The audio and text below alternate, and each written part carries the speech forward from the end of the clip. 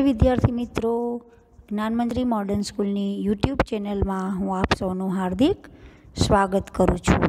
આજે તારીખ ચોવીસ દસ બે હજાર વીસ શનિવાર, ધોરણ ત્રણ. બાળકો, આપણે એકથી ચાર પાઠનું રિવિઝન તો કરી ચૂક્યા છીએ.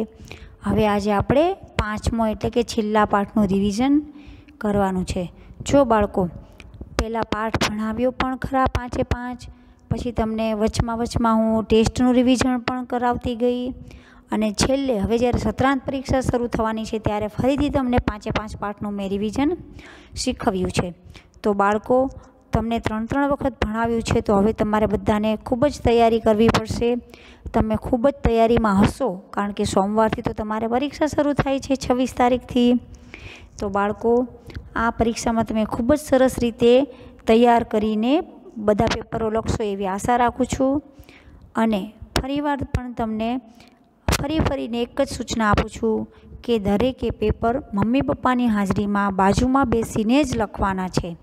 બરાબર, ભલે પાંચ માર્ક ઓછા આવશે, એ ચાલશે, પરંતુ જોઈ જોઈને કોઈએ ક્યાંય લખવાનું નથી અને વ્યવસ્થિત અને સરસ અક્ષરે પેપરો લખવાના છે.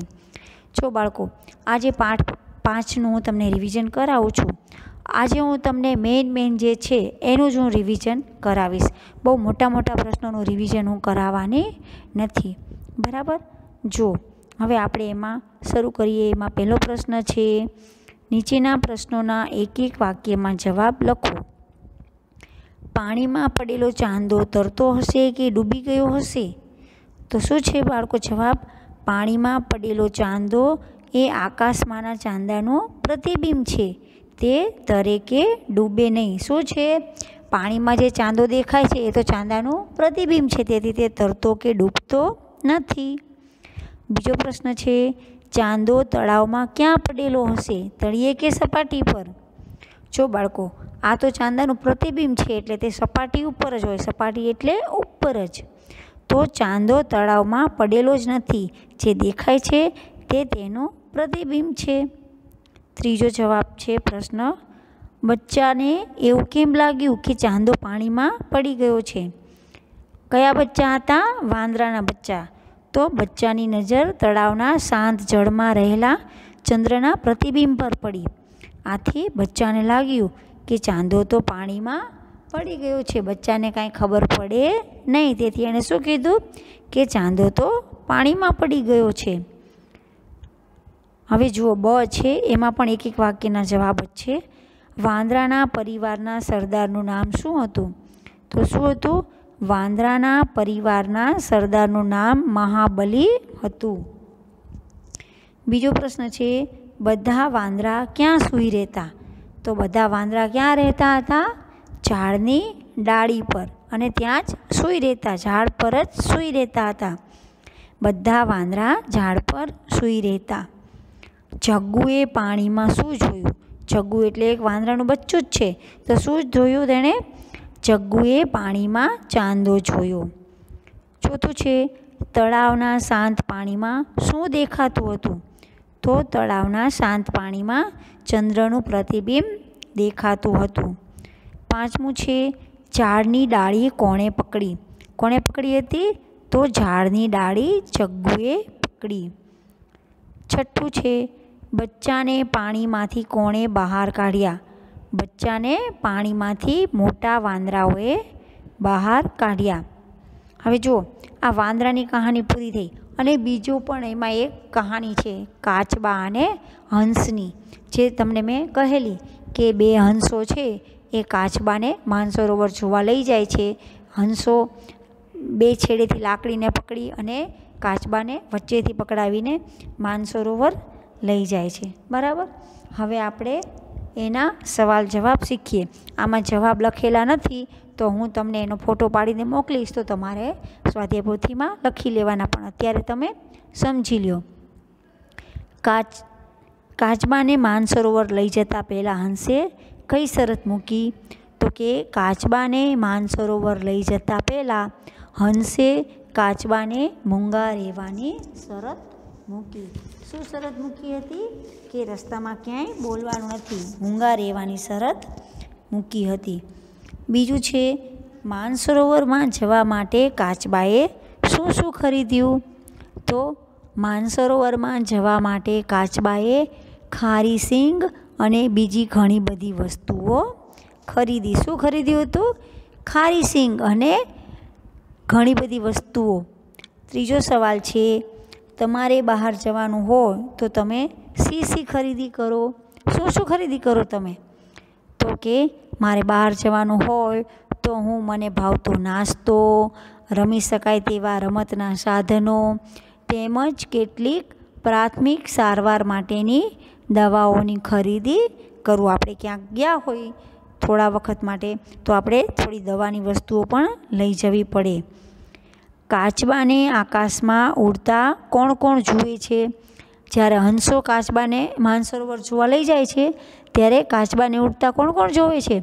તો કે કાચબાને આકાશમાં ઉડતો મગર, માછલા અને દેડકા જુએ છે.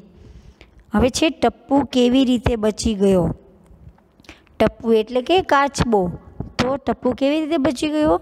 તો મોંમાંથી લાકડી છૂટી જતાં તરત જ ટપ્પુએ સ્વિચ દબાવી અને પેરાસૂટ ખોલ્યું અને સલામત રીતે નીચે ઉતર્યો. આ રીતે તે બચી ગયો. હવે જુઓ, નીચેના પ્રશ્નોના બે ત્રણ વાક્યમાં જવાબ લખો. તો પહેલું છે, વાંદરાના બચ્ચાઓ કેવા કેવા તોફાન કરતા હતા? તો એનો જવાબ છે, વાંદરાના બચ્ચાઓ ભારે તોફાની હતા. આખો દિવસ તોફાન મસ્તી જ કર્યા કરતા. કોઈ ઝાડની ડાળીએથી ઊંધા માથે લટકે, તો કોઈ બુજા, બીજાની પૂંછડી ખેંચીને ભાગી જાય. વળી એકબીજા સામે કચકચ દાંત પણ કાઢે. બીજો પ્રશ્ન છે, ચાંદાને તળાવમાંથી બહાર કાઢવા માટે મિક્કીએ કયો ઉપાય બતાવ્યો? મિક્કી એટલે વાંદરાનું બચ્ચું જ છે. તો એનો જવાબ છે, ચાંદાને તળાવમાંથી બહાર કાઢવા માટે મિક્કીએ ઉપાય બતાવતા કહ્યું. જગ્ગુ ઝાડની ડાળી પકડીને લટકશે. ચીમ્પુ તેની પૂંછડી પકડીને લટકશે. મોન્ટી ચીમ્પુની પૂંછડી પકડીને લટકશે. હું આ મોન્ટીની પૂંછડી પકડીને છેક પાણી સુધી પહોંચી જઈશ ને ફટાક કરતો ચાંદાને પકડીને બહાર કાઢીશ. જોયું? વાંદરાઓ કેટલા અફલકણા, કેટલા તોફાની. કેવો આઈડિયા વિચાર્યો કે એક વાંદરો ઝાડની ડાળી પકડે બીજો એની પૂંછડી પકડે, ત્રીજો એની પૂંછડી પકડે અને ચોથો પણ એની પૂંછડી પકડીને છેક પાણી સુધી પહોંચીને ચાંદાને બહાર કાઢશે. આવો આઈડિયા તેણે કર્યો. ચલો, હવે આવા મોટા મોટા પ્રશ્નો આપણે અત્યારે કરતા નથી. હવે હું તમને એના પછીનો જે પ્રશ્ન છે, ત્રીજો, નીચેના વિધાનોમાંથી ખરા વિધાનો સામે ખરા અને ખોટા વિધાનો સામે ખોટાની નિશાની કરો. તો ઝાડ પર સરદારમાં બાહુબલી વાંદરાના પરિવારનું ટોળું હતું. તો આ વાક્ય કેવું છે? ખોટું. ઝાડ પર સરદાર બાહુબલીનું વાંદરાનું ટોળું નહોતું રહેતું. એ કાંઈ એક જ કુટુંબના હતા નહીં. હવે બીજું છે, વાંદરા ઝાડ પરના મીઠા ફળો ખાતા હતા. તો આ વાક્ય સાચું છે.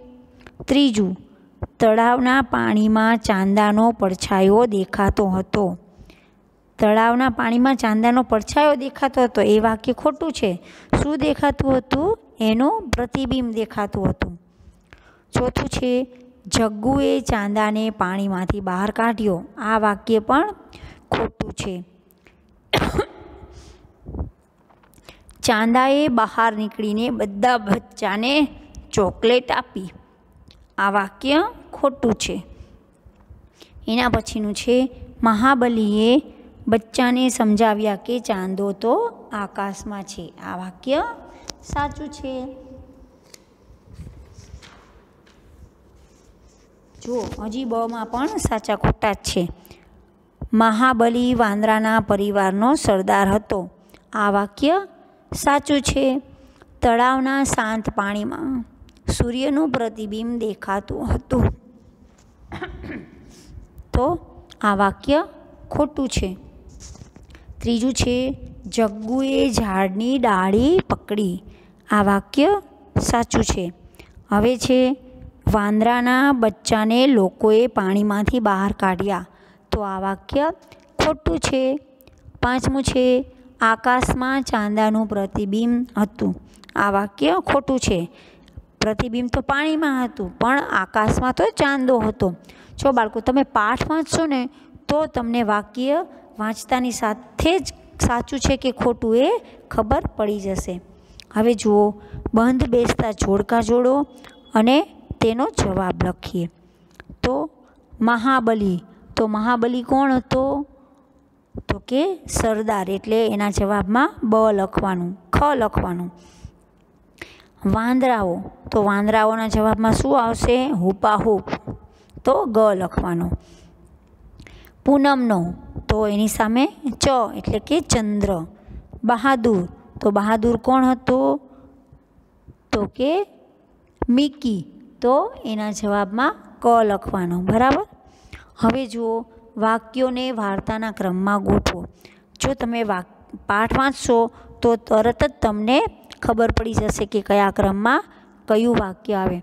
તો ચલો, સૌથી પહેલું વાક્ય કયું આવશે? તો કે ઝાડ પર સરદાર મહાબલીનો પરિવાર રહેતો હતો. બીજું વાક્ય છે, વડીલ વાંદરા ઘસઘસાટ ઊંઘતા હતા. ત્રીજું વાક્ય છે, બાળ વાનર સેનાએ તળાવમાંથી ચાંદો બહાર કાઢવાનું નક્કી કર્યું. ચોથું છે, જગ્ગુ ચિમ્પુ મોન્ટી, મિક્કી. પૂંછડી પકડી પાણી સુધી પહોંચ્યા. પાંચમું વાક્ય છે તળાવમાંનો ચાંદો તો કાચની બંગડીની જેમ તૂટી ગયો.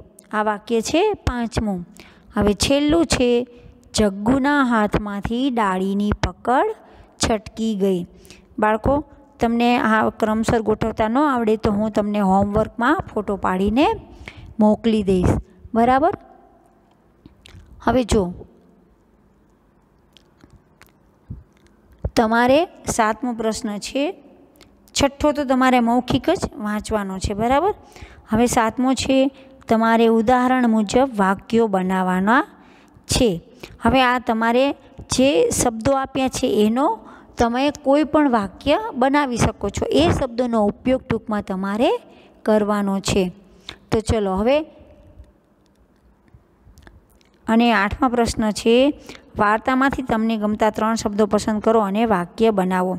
તમારે કોઈ પણ શબ્દ પસંદ કરીને ત્રણ વાક્યો તમારી જાતે બનાવવાના છે.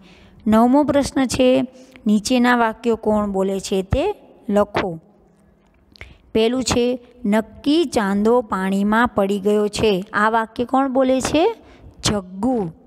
બીજું છે ના ના, આ ચાંદો નથી, આ તો સરસ મજાનું ફળ છે. આ કોણ બોલે છે? ચીમ્પુ ત્રીજું છે, ચાંદો હોય કે ફળ, એને પાણીમાંથી બહાર તો કાઢો. આ વાક્ય કોણ બોલે છે? મોન્ટી. ચોથું છે, વાહ, કેવી મજા પડશે. કામ પણ થશે અને ગમ્મત પણ થશે. તો આ જગ્ગુ અને મોન્ટી બોલે છે. પાંચમું વાક્ય છે એ તો ચાંદાનું પ્રતિબિંબ છે. આકાશમાં જુઓ, એ રહ્યો તમારો ચાંદો. આ વાક્ય કોણ બોલે છે? મહાબલી. બાળકો, આ પણ તમારે બાકી હશે, તો હું ફોટો પાડીને મોકલું, ત્યારે હોમવર્ક કરી લેજો. હવે જો દસમો પ્રશ્ન છે, લખો. કેવી છે એ તે લખવાનું છે? તો, પોપટની ગોળ ગોળ આંખ, લીલી લીલી પાંખ. બીજું છે, ચકલીની ઝીણી ઝીણી આંખ અને નાની નાની પાંખ. બહેનની ભોળી ભોળી આંખ અને કાલી કાલી બોલી. હવે તો ક્યાં છે? પોપટ ક્યાં છે? તો કે લીમડે. ચકલી તો કે ઘરને આંગણે. બહેની તો કે ઘરમાં. બરાબર? ચાલો. બાળકો, હવે તમારે આગળ જુઓ. હવે જો, સૌને શું ગમે? તો બોલતી અને ઉડતી ચકલી, પછી રમતી અને ગાતી બહેની. આ તમારે તમારી જાતે લખવાનું છે, બરાબર? હવે જો, ચિત્ર પરથી ખાલી જગ્યા પૂરવાની છે, તો આ તમારે જે ચિત્રો આપ્યા છે, એમાં તમારે તમારી રીતે કાળી બિલાડી કેવી છે, જાડી બિલાડી કેવી છે, પાતળી કઈ છે, જાડી કઈ છે, એ બધું જ તમારે આ નીચે જે લીટી આપી છે એમાં લખવાનું છે. બરાબર? હવે જુઓ તમને, આનાથી વધારે હું રિવિઝન કરાવતી નથી. પરંતુ જો, આના પછી તમારે ચૌદમો પ્રશ્ન છે ખાલી જગ્યાનો, બરાબર? આ ખાલી જગ્યા હું તમને કરાવી દઉં. નવ્યાએ બટન ટાંકવા ખાલી જગ્યા દોરો લીધો. તો કયો કેવો આવશે? પાતળો દોરો લીધો. મિલિંદે ખાલી જગ્યા સાપ પકડ્યો. કેટલા સાપ પકડ્યા? એક. જેઠાલાલે ખાલી જગ્યા લસ્સી પીધી. તો કે ઠંડી. સુસ્મિતા, ખાલી જગ્યા મરચું ખાઈ શકે. તો મરચું છે એટલે તીખું આવશે. તો તીખું. ખાલી જગ્યા ઓફિસમાં કૃતિકા અને દેવાંશી બેઠા તો મોટી. ઝાડનું થડ જાડું છે. ડોશીમાના માથાના વાળ ખાલી જગ્યા છે તો કે ધોળા. મારી બોલપેન ખાલી જગ્યા છે. કેવી છે? સસ્તી. હવે પંદરમો પ્રશ્ન છે, તમારે જે ફકરો આપ્યો છે એનું વાંચન કરવાનું છે અને વધારાની માહિતી હોય ત્યાં ચોરસ અને જેના વિશે માહિતી હોય ત્યાં ગોળ કરવાનું છે, બરાબર? જો બાળકો, આજે હું તમને આટલું રિવિઝન કરાવું છું, બરાબર?